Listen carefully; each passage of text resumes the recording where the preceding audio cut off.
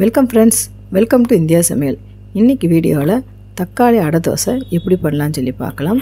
டிஃப்ரெண்ட்டான ஸ்டைலில் உங்களுக்கு நான் செஞ்சு காமிக்கிறேன் ஃப்ரெண்ட்ஸ் நம்ம சேனலை ஃபஸ்ட் டைம் பார்க்குறதா இருந்தால் சப்ஸ்கிரைப் பண்ணிடுங்க ஃப்ரெண்ட்ஸ் பக்கத்தில் இருக்க பெல் ஐக்கானே கிளிக் பண்ணிடுங்க வாங்க வீடியோக்குள்ளே போகலாம் இப்போ ஒரு மிக்சிங் பவுலில் எடுத்துக்கோங்க. ஒரு கப் அளவுக்கு இட்லி அரிசி சேர்த்துக்கிறலாம் அதே கப் அளவுக்கு பச்சரிசியும் சேர்த்துக்கோங்க.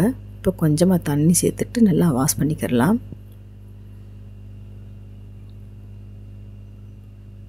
இப்போ இந்த அரிசிக்கு சமமாக அதே அளவு பாசிப்பருப்பு சேர்த்துக்கிடலாம் இப்போ சேர்த்துட்டு நாலு மணி நேரம் நல்லா ஊறட்டும்.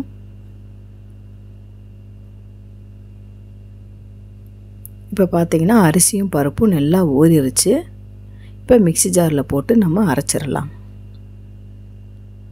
இப்போ ஒரு மிக்சியில் அரிசியும் பருப்பையும் சேர்த்துடலாம். இப்போ காரத்துக்கு ஏற்ப மூணு வரமிளகா சேர்த்துருக்கேன்.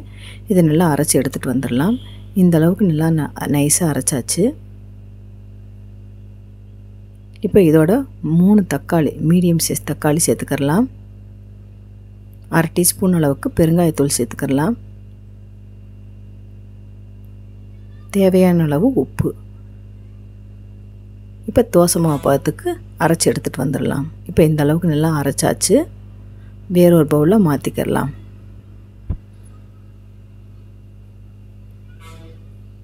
இப்போ மூடி போட்டுட்டு கொஞ்சம் நேரம் அப்படியே இருக்கட்டும். நம்ம மசாலா ரெடி பண்ணிடலாம். இப்போ ஒரு கடாயில் ரெண்டு டீஸ்பூன் எண்ணெய் சேர்த்துக்கோங்க. இப்போ எண்ணெய் நல்லா சூடாகட்டும்.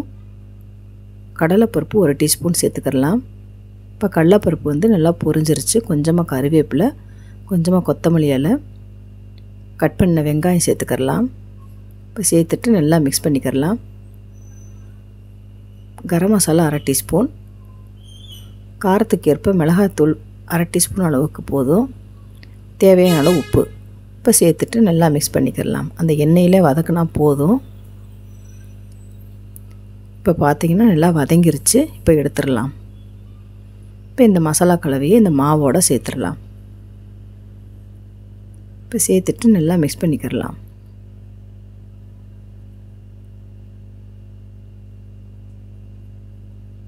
இப்போ அடமாவு வந்து ரெடி ஆயிடுச்சு இப்போ தோசைக்கல் வந்து நல்லா சூடாக இருக்குது இப்போ மாவை வந்து ஊற்றிடலாம்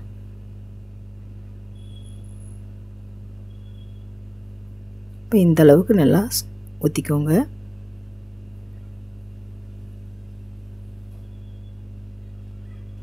மேலாப்போ கொஞ்சமாக எண்ணெய் ஆட் பண்ணிக்கிடலாம் நெய் இல்லைன்னா பட்டர் சேர்த்துக்கிட்டால் இன்னமும் டேஸ்ட்டு சுவையாக இருக்கும். திருப்பி போட்டுடலாம். இப்போ நல்லா வெந்துருச்சு. இப்போ எடுத்துடலாம். சூப்பரான ஹெல்த்தியான டொமேட்டோ தோசை ரெடி ஆயிடுச்சு. இந்த அடை வந்து நீங்கள் சட்னியோடையும் சாப்பிட்லாம். இல்லை தேங்காய் சட்னியோடு சாப்பிட்டிங்கன்னா இன்னும் டேஸ்ட்டு செம்மையாக இருக்கும். நீங்களும் ட்ரை பண்ணி பாருங்கள் ஃப்ரெண்ட்ஸ் உங்களுக்கு இந்த வீடியோ பிடிச்சிருந்துச்சுன்னா லைக் பண்ணுங்கள் ஷேர் பண்ணுங்கள் கமெண்ட் பண்ணுங்கள் உங்களை நான் வேறு வீடியோ சந்திக்கிறேன். பாய் தேங்க்ஸ் ஃபார் வாட்சிங்